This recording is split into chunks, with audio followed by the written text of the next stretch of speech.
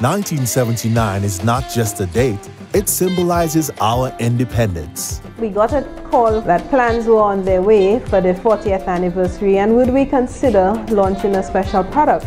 Took that to the product development team and let's come up with a product and create it. And now, 1979 is a creation of St. Lucia Distillers, a blend of French and British traditions, a true celebration of our history.